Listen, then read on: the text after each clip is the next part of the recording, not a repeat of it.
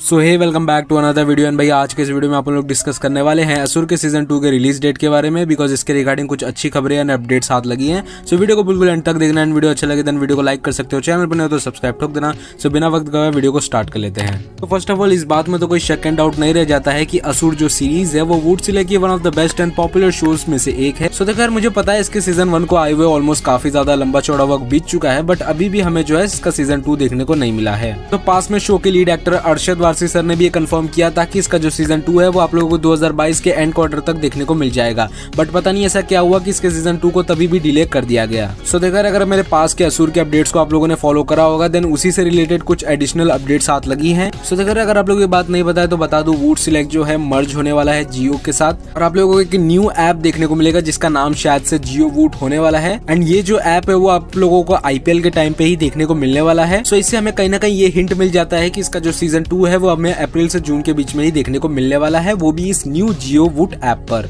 And देखो यार chances काफ़ी ज़्यादा हाई रहने वाले हैं अप्रैल से मई के बीच में ही। तो अगर आगे नियर फ्यूचर अगर इसके रिगार्डिंग मुझे कुछ और अपडेट्स या न्यू इन्फॉर्मेशन हाथ लगेगी देन मैं फ्यूचर में आप लोगों को ज़रूर से इन्फॉर्म करता रहूँगा। ऑल अगर आप लोगों को भी थॉट्स एंड क्वेरीज है, वो हमारे कमेंट बॉक्स में आप बिंदास मेंशन कर सकते हो। सो बस यार, आज के लिए इतना ही। वीडियो जरा सी भी पसंद आई हो तो वीडियो को लाइक कर सकते हो। चैनल पर नहीं तो सब्सक्राइब ठोक देना। सो मिलेगा अगले वीडियो में, तब तक till then stay bless bye जय श्री राम।